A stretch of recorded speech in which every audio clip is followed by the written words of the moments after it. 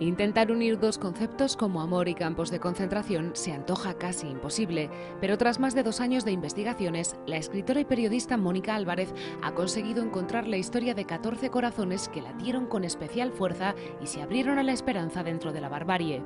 Lo que más me ha sorprendido de estos supervivientes es cómo tenían la capacidad de sentir amor, ellos se agarraron a ese salvavidas que es el amor para poder reflotar, salir hacia adelante y poder salir de un campo de concentración. En el libro Amor y horror nazi recoge siete historias de amor que emocionan y sorprenden. Hay casos como David y Perla que se conocen en el campo de concentración, se enamoran a primera vista, cuando digo a primera vista, es decir, sucios, eh, con 30 kilos, sin pelo, enfermos, con un pijama de rayas y aún así el amor aparece, el amor florece. Franz Bunch, un oficial de las SS, se enamora de una judía eslovaca, Elena Siternova.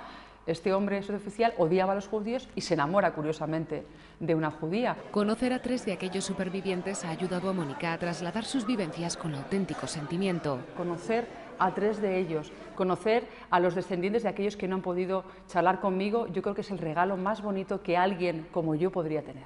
Siete historias de esas que diríamos que son de película y no iríamos del todo desencaminados. Puede que en un futuro no muy lejano las terminemos viendo en la gran pantalla.